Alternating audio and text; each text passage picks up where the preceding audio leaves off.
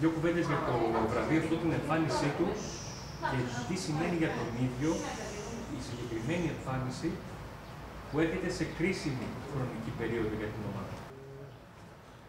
Ε, κοιτάξτε, εγώ πάντα προσπαθώ να κάνω τη δουλειά μου στο γήπεδο, να βοηθήσω την ομάδα. Αυτό κάποιες φορές βγαίνει, κάποιες φορές ε, δεν βγαίνει. Σημασία έχει που και με κάνει χαρούμενο που ε, με αυτή την εμφάνιση η ομάδα κέρδισε και αυτό είναι το σημαντικό, όχι αν ο Νάτχο είναι καλός ή όχι. Και νομίζω ότι ε, ελπίζω όλο αυτό να βγει και, στην, ε, και στη συνέχεια. Μήπως είναι ένα μήνυμα ότι πλέον είναι σε full form και εν ώψη Ολυμπιακού που είναι το πιο κρίσιμο παιχνίδι; Ε, εγώ ήρθα εδώ για να βοηθήσω την ομάδα να πάρει και το κύπελο. Αισθάνομαι 100% έτοιμος, αισθάνομαι καλά και ελπίζω ότι θα το καταφέρουμε. Αυτή τη μεγάλη αγάπη του κόσμου, πώς τη... Ε, με κάνει να αισθάνομαι σπουδαία. Είμαι μόλις δυόμισι μήνες εδώ και έχουν δείξει τόσο ε, πολύ αγάπη που με αναγκάζουν ε, σε εισαγωγικά κάθε φορά που ε, πετυχαίνω ένα γκολ ή κάθε, για κάθε νίκη της ομάδας να τους την αφιερώνω. Αυτό μπορούσε να διαλέξει τι θα επέλεγε την πρώτη θέση στα play-off.